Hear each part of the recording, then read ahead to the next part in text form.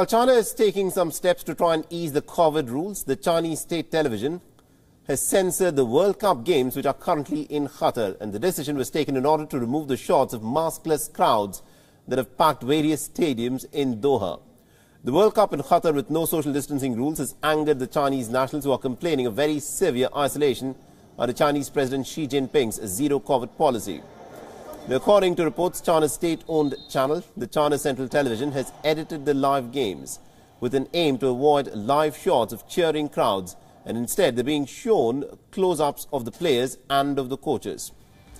The dozens of students gathered at a university in central China and protested against the zero COVID policy.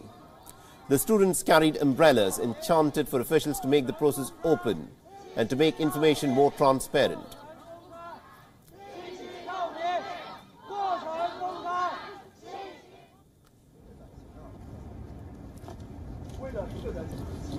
The demonstrations were also reported in Washington against China's zero COVID policy. About 200 people held a protest two blocks away from the White House. They lit candles and chanted Free China. Meanwhile, residents in Beijing expressed mixed opinions towards easing of the world's toughest COVID 19 curbs.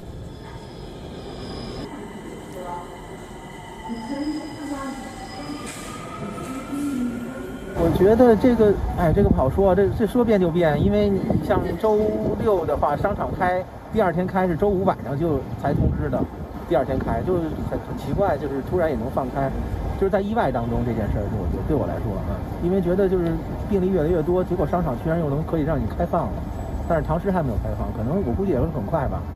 对我来说，感觉触动还挺小的，毕竟我们上班还是要七十二小时核酸，至少我在这个吃饭还是要需要四十八小时核酸。对我来说，感觉并没有放开特别多嘛，主要就是这样一个想法。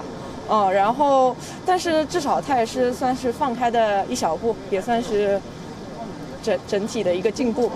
Beyond is now available in your country. Download the app now and get all the news on the move.